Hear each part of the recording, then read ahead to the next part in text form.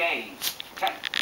This for about four or five minutes or so. Now, very quickly, what we do for our garlic bread, we've got a really hot little pan. Just cut our ciabatta. This is the simplest way to do it. Buy yourself a little when you go home this afternoon. So next time you're cooking for your boyfriend, then you can astound him with how easy this is. A bit of oil onto there. Oh, I want to tell him what you made him. Hot milk.